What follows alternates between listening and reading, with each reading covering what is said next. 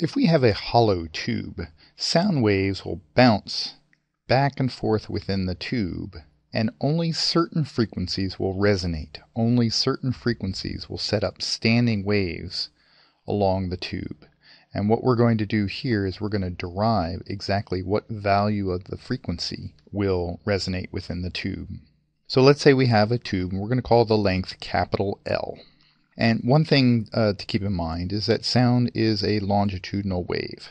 So the air molecules within the tube, everywhere along the tube, are vibrating left and right here in the diagram. When you look at the lower diagram, which is showing our classic standing wave at its two extremes, so that this diagram really helps us visualize that the nodes are along these points and the antinodes are halfway in between the nodes. Don't think of it as a transverse wave like the air molecules are going this way, but this is the location where the pressure oscillates the most dramatically high pressure, low pressure, high pressure, low pressure. Whereas at the nodes is where the pressure is more or less a constant middle value. But we draw it like almost like it's a transverse wave because that's just easier to draw, easier to visualize.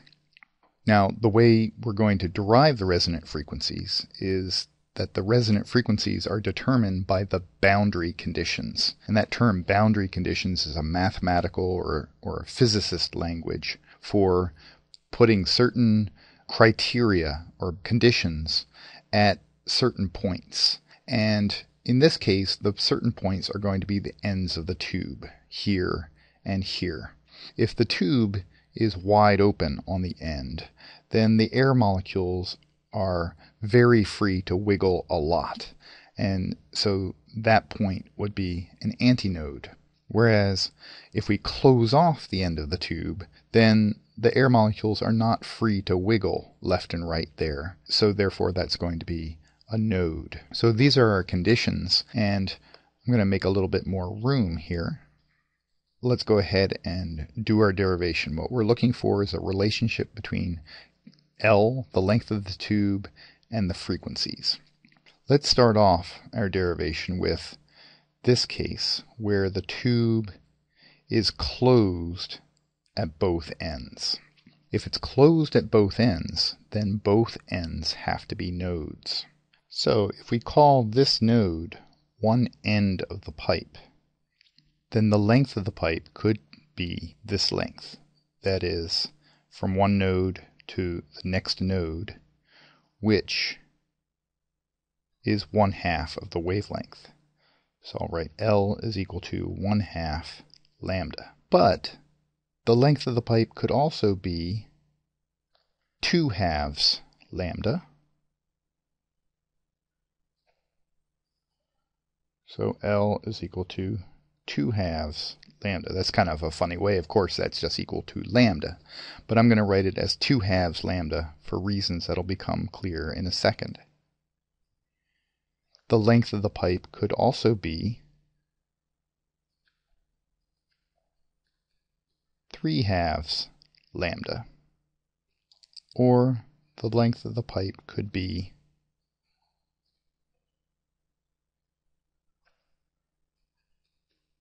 four halves lambda, which of course is just 2 lambda. But I hope that you're now seeing the pattern. 1 half lambda, 2 halves lambda, 3 halves lambda, 4 halves lambda. To generalize that, L can be any integer multiple of half lambda.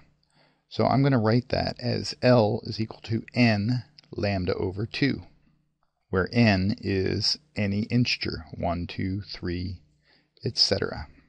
Now in this derivation, I was pretending like we had different lengths of the tube, but in reality, we're just going to have a single length of the tube and we're going to have a variety of different wavelengths. So let's solve for the wavelengths. Lambda is equal to multiply both sides by the 2, divide both sides by the n, and we will have 2L over n. And these are the various wavelengths that will exist within a tube of length L that is closed at both ends. When we talk about sound, it's much more convenient to talk about the frequencies. So what we're going to do is we're going to solve here for the frequencies. F is V over lambda, V over 2L over N. We have a fraction in the bottom of a fraction, so we're going to flip and multiply. And we have NV over 2L. And this is our set of frequencies that can exist inside a tube that is closed at both ends.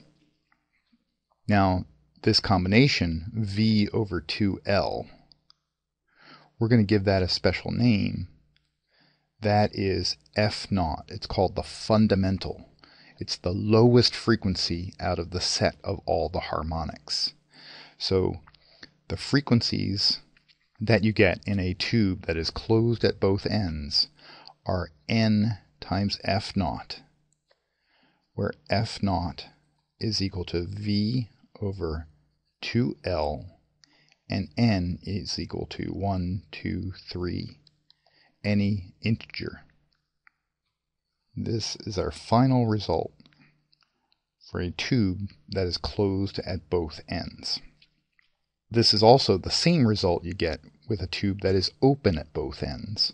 That is, if you have antinodes at both ends, you can see that the mathematical conditions here would all be identical. Just shift this entire diagram over by this amount and everything else would be exactly the same. These equations over here are also the frequencies that would be inside a tube that is open at both ends.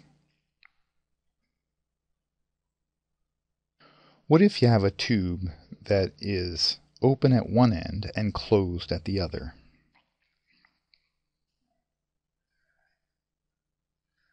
In that case, the closed end will be a node, just like in our previous derivation, but the open end, the air molecules are free to vibrate, and therefore that will be an antinode. How does the derivation change in that case? Well, this is still going to be our node here.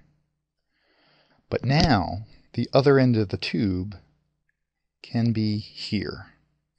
And this distance from here to here is one quarter of a wavelength. Remember, node to node is half a wavelength. So from node to the nearest antinode is one quarter of lambda. The tube could also have a longer length, a node here, and going to the next antinode, which would be along here.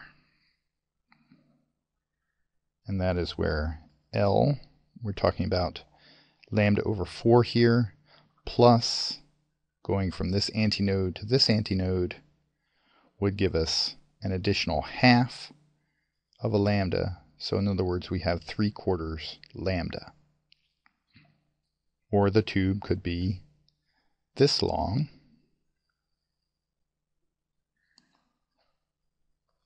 Where we add another antinode to antinode distance, another half wavelength. And so L is equal to 5 quarters lambda. Or just to continue the pattern, one more example.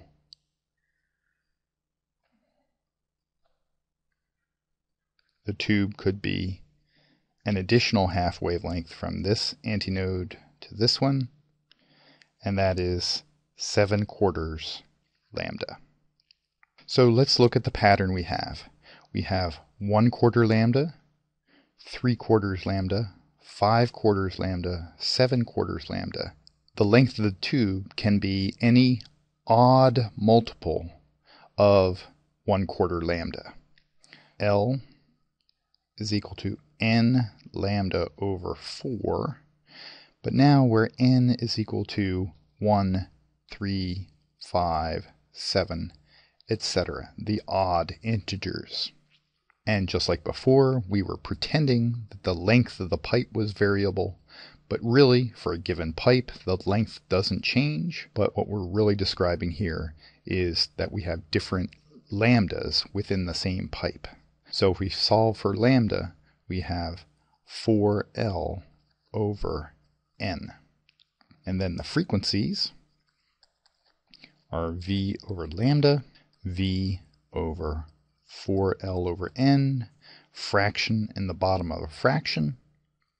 So we flip and multiply, and we are left with the frequencies are NV over 4L.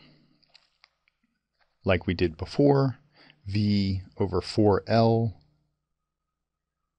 we're going to call that the fundamental frequency.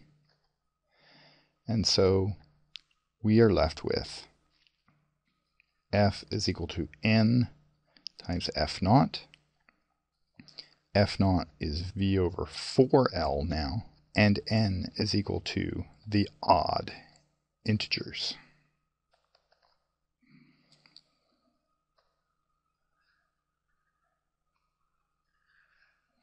So here's our final result for a tube that is open at one end and closed at the other.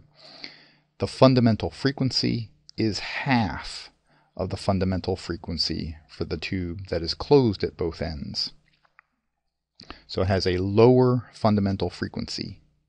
However, the multiples, the harmonics, are the odd multiples of this fundamental instead of every integer multiple of the fundamental in the case of the tube that is closed at both ends.